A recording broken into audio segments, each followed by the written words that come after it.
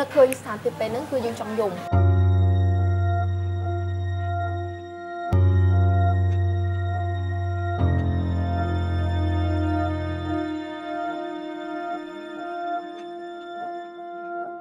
្នុងឆ្នាំ2011ខ្ញុំចាប់ដើមសម្លឹងមើលទៅលើវិស័យចង្គៀងអញ្ចឹងចង្គៀងហ្នឹងគឺជាប្រភេទផលិតផលមួយដែលធ្វើដោយដៃ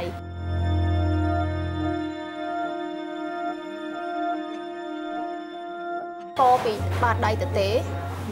យើងប្រមូលជាងម្នាក់ពីរនាក់ស្រីម្នាក់ប្រុសម្នាក់ដើម្បីធ្វើជាជាងមួយហ្នឹងយ៉ាងវេទនា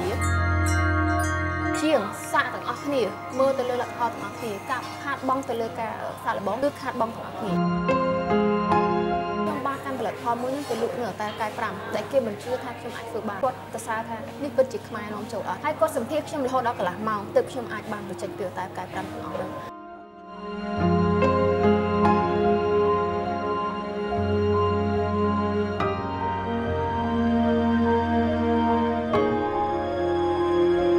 បើសិនជាមានចក្ខុវិស័យច្បាស់លាស់ទោះជាយើងដើរជួបឧបសគ្គប៉ុណ្ណាក៏ដោយគឺនៅតែទៅមុខ